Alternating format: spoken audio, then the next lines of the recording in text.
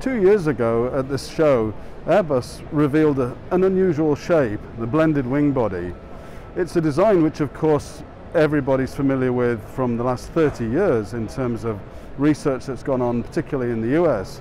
McDonnell Douglas uh, originated a similar design. Boeing, of course, has continued research into that. And NASA, of course, has flown the X-48 aircraft experimental demonstrator.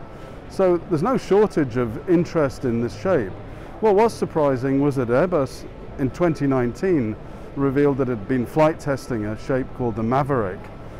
In 2020 at this very show, it unveiled a version of that shape and said that it was interested in it because it could reduce fuel burn by 20%, they thought, compared to regular tube and wing shaped airliners.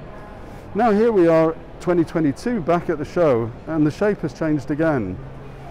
It's actually based uh, really on a merger between that original configuration and something that Airbus really shocked the world with in a way in 2020 when it announced that it was going to develop a new generation of hydrogen fueled carbon neutral designs for entry into service in the mid 2030s.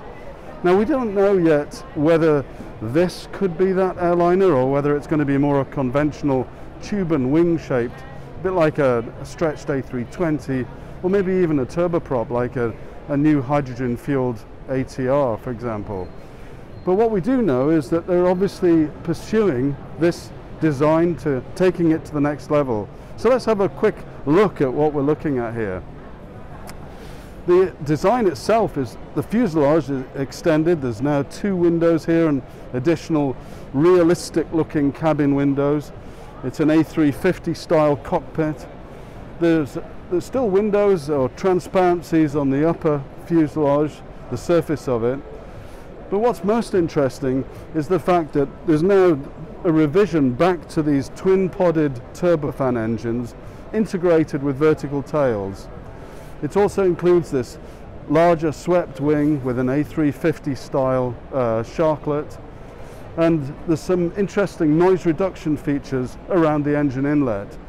For example, the scarfing of the inlet for reduced noise emanating above the, the, the flat deck and also around the tail where you can see the, the nozzle area is also treated for low noise.